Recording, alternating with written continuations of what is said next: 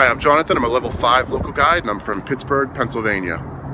So every day I start off the morning by checking my photo view count and I update my spreadsheet to help me keep track of my progress. I try to stay active on the Google Plus page, the subreddit, and the local guides forums. And last week I hosted my first meetup and it went so well that I already scheduled my next one for next month. One of my favorite ways to contribute is through photographs, and with all the practice I've been getting, I've noticed that my photos have improved since I've started. I love knowing that my contributions have helped people find their way around Pittsburgh, and that it's helped local businesses.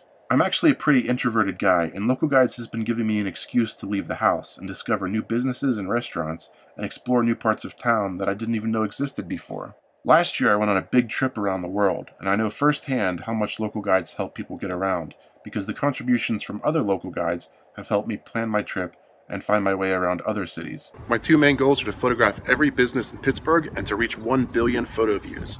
I can't wait to meet you guys in October.